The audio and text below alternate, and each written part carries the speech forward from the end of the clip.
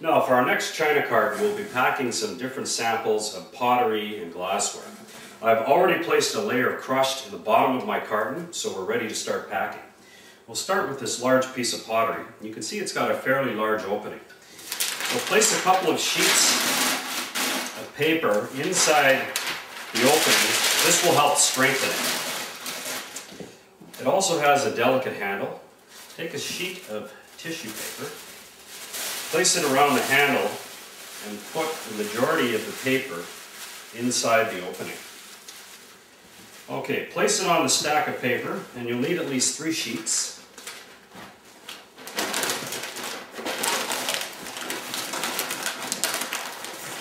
It's a fairly large item, so you'll need to attach the paper with a piece of tape and then place it into your carton in an upright position. Okay, our next item, glass vase.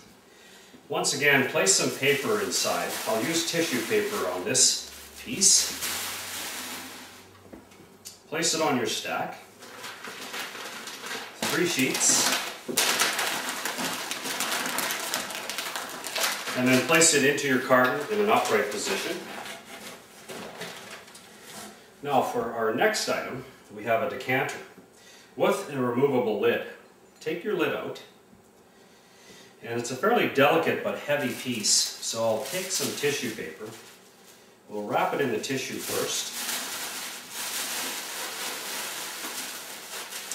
And then I'll use two sheets of regular paper. Place it into your carton in an upright position. That just about finishes off my first row. Now you have to deal with the lid. Wrap it in a piece of tissue paper. Followed by a sheet of regular paper. And now to ensure that this doesn't get lost or mixed up with our crushed, we're going to tape it and label it.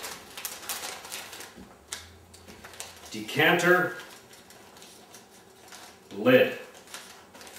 Our unpacking crew will see this and will be aware of its contents. I'll place that in the top of my carton later on in my packing. Okay, now what I will do is I'll continue with my remaining pieces and once I have finished my first tier, I'll place some crushed paper in between my pieces to prevent any movement, another layer of crushed, followed by a piece of cardboard and we'll start our second tier. We'll continue this process until I've finished with my remaining items.